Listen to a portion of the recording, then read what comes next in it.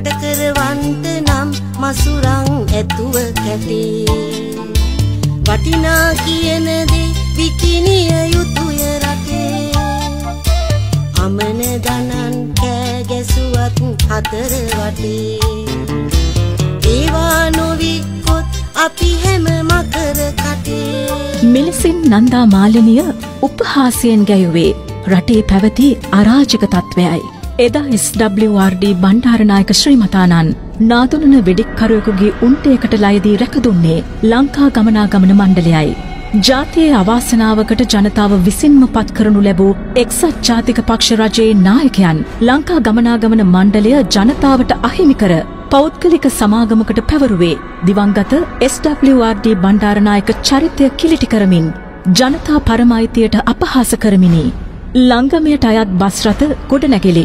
ඉඩකඩම් ඇතුළු සියලුම නිශ්චල සහ චංචල දේපල රුපියල් මිලියන අටසිය හැටකට කැබිනට් අනුමැතියෙන් එදා එජාප රජය පෞද්ගලික සමාගමකට පැවරුවේ. මෙරට සමස්ත ශ්‍රී ලාංකිකයින්ගේ මූලික මිනිස් අයිතිවාසිකම් තඹ සතයකට මායම් නොකරමිනි.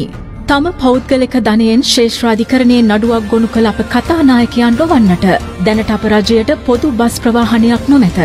වියත් නීතිච්ච මඩුල්ලට අභියෝග කරමින් රටේ ජනතාවගේ අයිති ආරක්ෂා කරමින් විකුණා දමන ලද ලංගමය යළිත් ජනසතු කරන ලදී. ඔහු නමින් විජේදාස රාජපක්ෂයන්ය.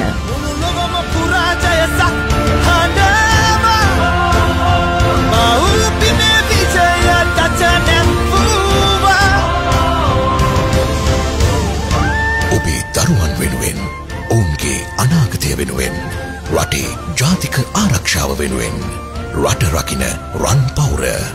ආචාර්ය විජේදාස රාජපක්ෂ අංකදහට පොදු ජන පෙරමුණින් කොළඹ දිස්ත්‍රික්කයට.